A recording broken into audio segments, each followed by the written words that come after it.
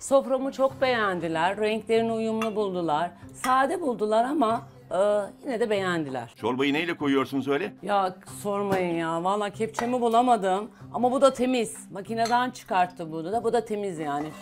Bu da çorba şeyi gibi konulabiliyor yani.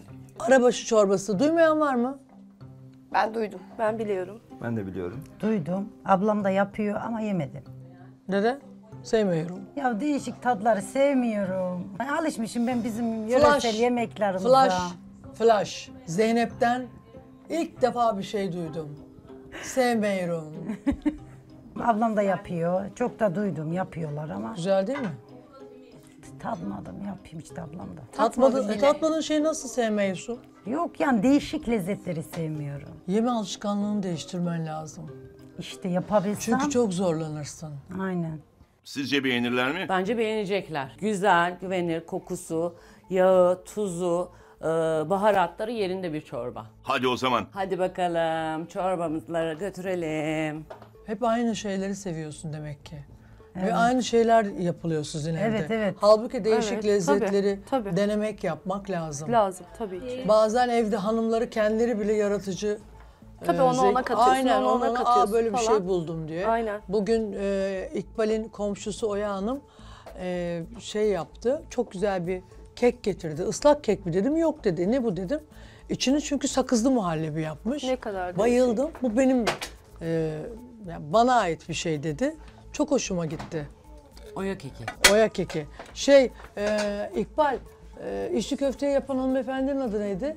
Selda Hanım. Selda Hanım, içli köfteni yedim, bayıldım, ellerine sağlık. Kadın bir içli köfte yaptı, gönderdi. Böyle bir şey olamaz. İkbal Hanım mutfakta kepçesini bulamadı. Demek ki mutfak çok dağılmıştı ses. İsterseniz bir bakın mutfağıma. Yok şu anda bakmak istemiyorum. Peki. Teşekkürler. Tülay nasıl görünüyor tatlım? Yani ta- tabii ki güzel görünüyor gibi ama biraz yağlı gibi de duruyor. Tabii lezzeti önemli bu arada. Lezzetine de bakacağız. Sunum nasıl görünüyor Remziye? Çok boş gözüküyor. Ve duru gözüküyor bence. Siz daha önce arabaşı çorbası içtiniz mi Remzi Hanım? İçmedim.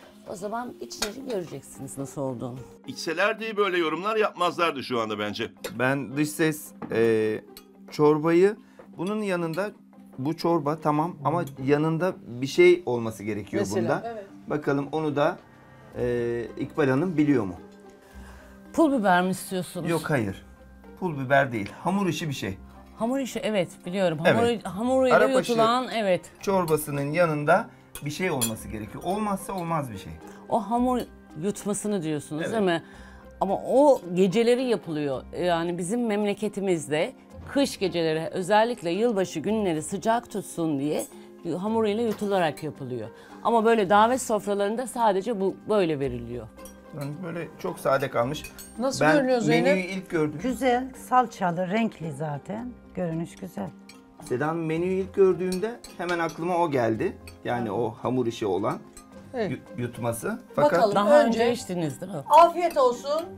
Tülay'cığım Seda Hanım, e, ben bu çorbayı hiç evimde yapmadım. 4 yıl Diyarbakır'da yaşadık biz eşimin görev gereği. Evet. Ee, Kayserili bir arkadaşım var Hatice. Ee, onlar da çok güzel yaparlar bu çorbayı. Röportajda da dediğim gibi ben bir kere içti- içtim bu çorbayı ama lezzeti muhteşemdi ve içinde hamuru vardı. O kadar yağlı değildi. Lezzeti de çok güzeldi. Yani o lezzeti bunda yakalayamadım Arabaşının maalesef. hamuru içinde olmaz Süleyha Hanım.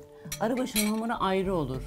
Yani O ayrıydı evet yutulur. ama e, yani onların arabaşı tarifi... çorbasının hamuru içinde olmaz. Tamam Siz onların yalnız- tarifi yo yo onların tarifi bunu içine atarsanız lezzeti daha güzel olur deyip biz yemeğe gitmiştik eşimle birlikte. İçine attık o şekilde yedik ama çok lezzetli bir çorbaydı o.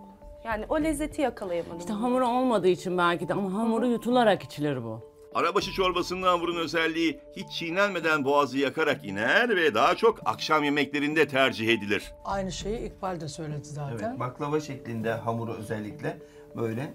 E, o da yutturma amaçlı.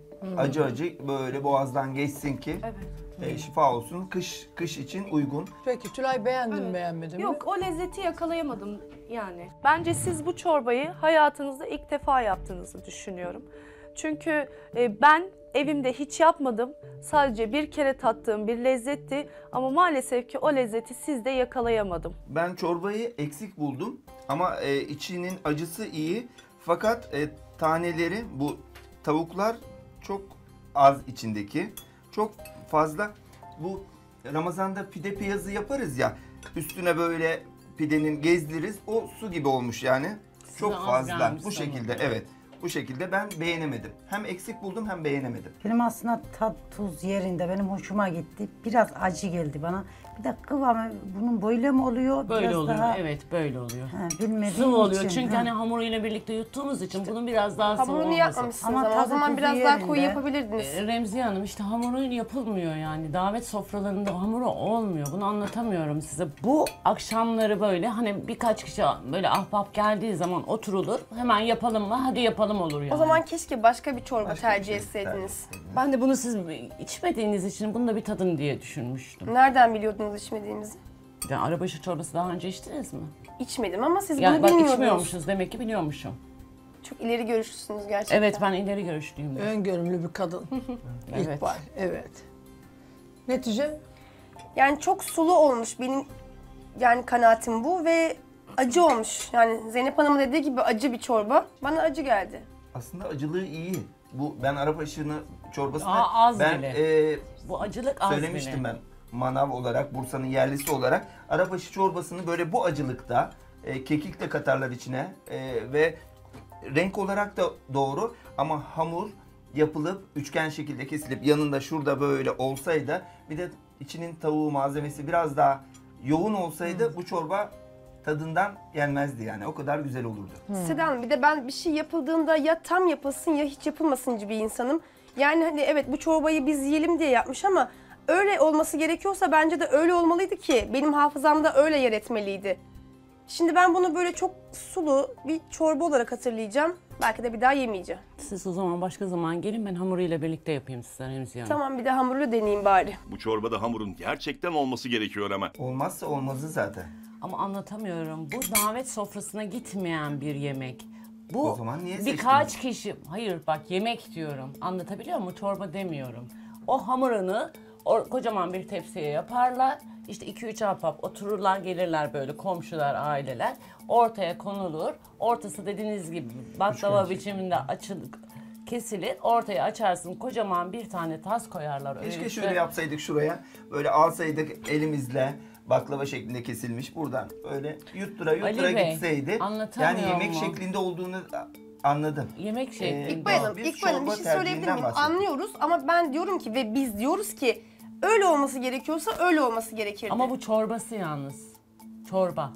O Hani ne? Arabaşı çorbasıyla hamur birlikte demedim. Arabaşı Ama eğer hamuru gelirse yemek oluyor diyor. Evet. Eğer Ama orijinali hamursuz öyle. yapılırsa çorba. Yani Ama- bu çorba bu diyor.